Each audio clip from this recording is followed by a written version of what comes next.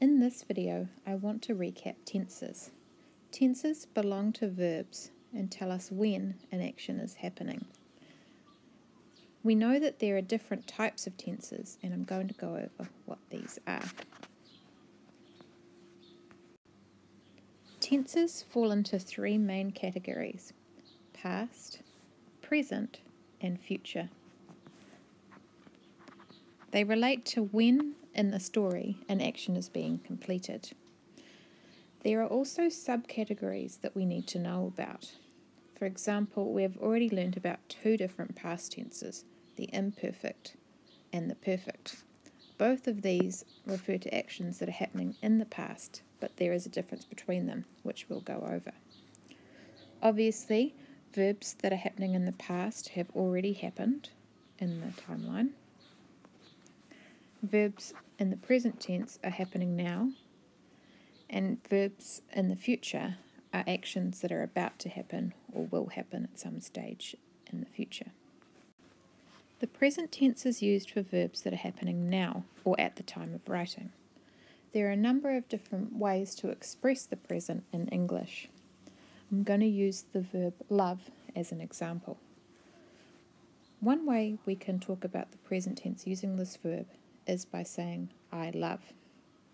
Another way is saying, I am loving. A third way is saying, I do love. All of these actions are happening at the present time. However, in Latin, there is only one equivalent. So we know that the verb amo could mean I love, I am loving, or I do love. The present tense endings in Latin verbs are o, s, t, mus, tis, and nt. The imperfect tense is used of verbs that are happening in the past that are ongoing, incomplete, or repeated. We'll see what this means when we look at our examples. So, using the verb love, we could say, I was loving, I used to love, or I would love. However, in Latin, again, there's only one way to express this, and so we use the form of the verb amabam. So again, we can translate this in a number of different ways depending on what best fits the context. And we'll use our favourite video with that awesome song to recap these endings. Bam, bas, bat, bamus, batis, bant. I'll leave you to sing them for yourselves. Finally, we have the perfect tense, which is also used for actions in the past. Instead of um, actions which are ongoing or repeated, the perfect tense is used for completed or one off actions in the past. And it, perfect comes from the Latin word for complete.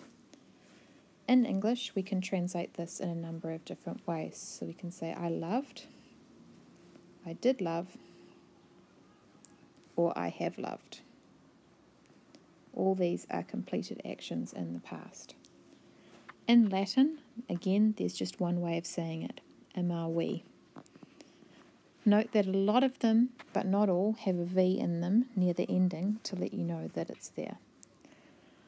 So Amavi can be translated in one of these three ways, again depending on the context, and the other endings as well as I are isti, it, imus, istis, and erunt. We can think a bit more closely about the difference between the imperfect and the perfect using the illustration of a timeline. So the star here indicates now, or the present and it goes further back in time. The perfect tense can be used to describe a one off action that occurs at a point on the timeline.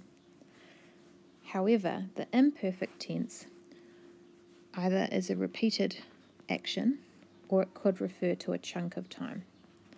So, in Latin, look closely at which tense the author has decided to use and why they use each one.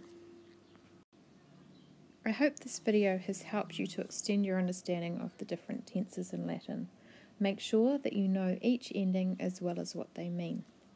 If you have any questions or problems, make sure you post them on iTunes U or bring them up in class, as I'm sure a lot of people will either be able to help you or will benefit from knowing the answer too.